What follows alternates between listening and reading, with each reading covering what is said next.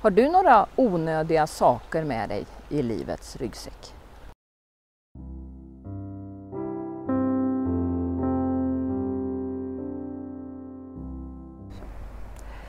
Första gången som jag gick i fjällen så var jag på en ryggsäck som vägde 24 kilo.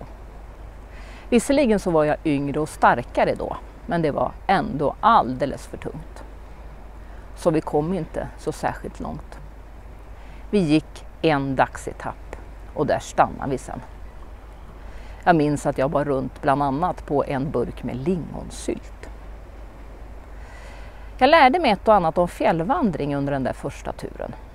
Och med tiden så blev jag ganska minimalistisk när det gällde att packa. Det gick så långt att jag sågade av skaftet på tandborsten för att få en lättare packning. Och nu så kanske det där har normaliserats lite grann. Nu bär jag väl omkring på en ryggsäck som väger ungefär 15 kilo.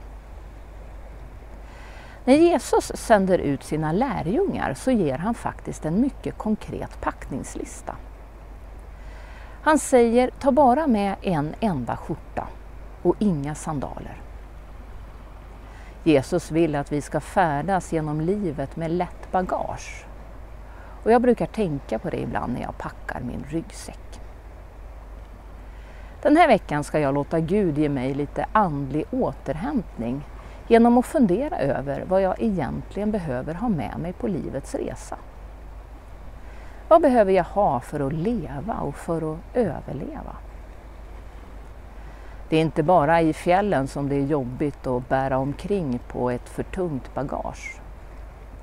Jag ska fundera över om det finns någon oförrätt som jag går och bär på som jag kan behöva glömma. Eller om det finns någon synd som jag kan behöva bekänna. Eller kanske någon dålig vana som jag behöver bryta. Det är skönt att kunna packa upp onödiga bördor ur ryggsäcken.